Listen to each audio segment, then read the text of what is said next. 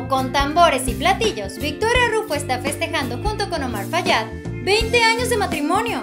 A través de redes sociales, la actriz de telenovelas como La Madrastra o Amor de Madre nos presumió los tremendos regalotes que recibió por parte de su esposo en este aniversario número 20. Vaya que la actriz se está dejando consentir mucho. En este video te platicaremos de toda la información, no te lo puedes perder. Hola, ¿cómo están? Bienvenidos a Famosos de Cerca.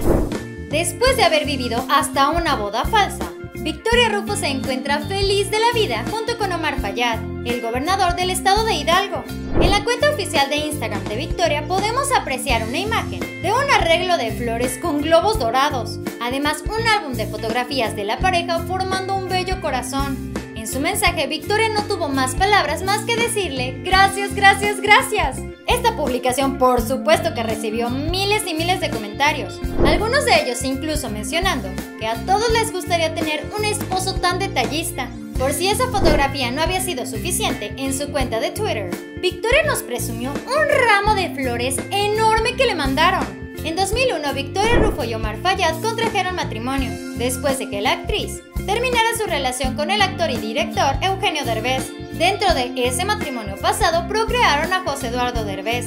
Después de que Victoria y Omar estuvieran con una relación de novios de manita sudada, ellos decidieron casarse. La ceremonia se llevó a cabo en la Ciudad de México, en la parroquia de San Agustín. Victoria Rufo estuvo acompañada de su padre y su hijo, además de una madrina espectacular, la cual fue Carmelita Salinas. Este festejo reunió a la creme de la creme, tanto del mundo de la farándula como del mundo de la política. Algunas personalidades que se encontraban en la celebración fueron Joaquín López Dóriga, Pela Fábregas, Ernesto Alonso, Fernando Colunga, Beatriz Paredes, Ricardo Monreal y Elvester Gordillo. En su momento, este evento fue tan importante que en serio la lista de invitados era gigantesca.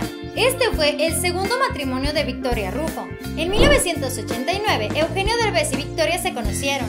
Años más tarde, ellos decidieron contraer nupcias al enterarse que Victoria estaba embarazada. A través de una entrevista para el canal de YouTube de José Eduardo, Eugenio Derbez nos dio detalles exclusivos de ese día, mencionando con sus propias palabras.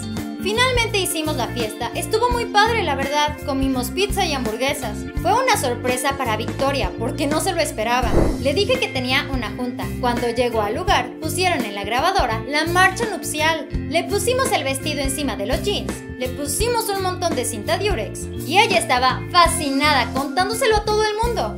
La polémica se salió de control cuando después se supo que todo se había tratado de una ceremonia falsa. Según lo que explicó Eugenio, tanto él como Victoria habían acordado fingir un enlace matrimonial para evitar el seguimiento de la prensa. Embargo, después Victoria Rufo nos vino a contar su verdad. Ella aseguró que Eugenio no dijo la verdad y que ella siempre pensó que esa boda había sido real, pues según su versión, ella desconocía por completo que se trataba de una broma. Para 1992, exactamente el 14 de abril, nació José Eduardo.